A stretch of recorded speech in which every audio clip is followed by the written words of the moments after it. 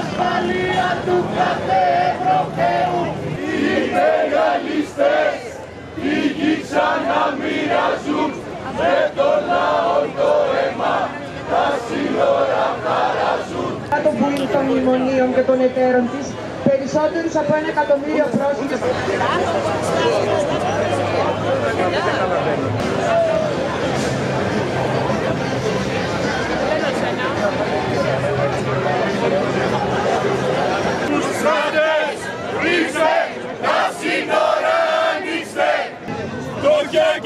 Ανεργία δεν φαίνουνε οι ξένοι.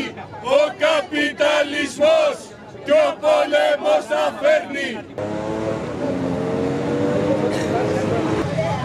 Δεν είναι τρομοκράτες τα μικρά παιδιά όλης της Ευρώπης τα σύνορα ανοιχτά. Δεν είναι τρομοκράτες τα μικρά παιδιά όλης της Ευρώπης τα σύνορα ανοιχτά.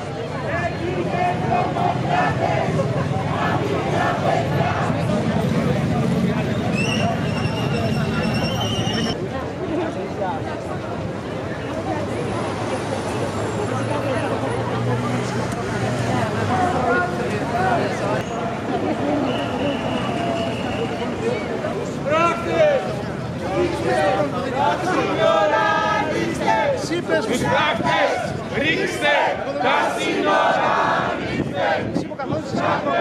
Ρίξτε τα σύνορα!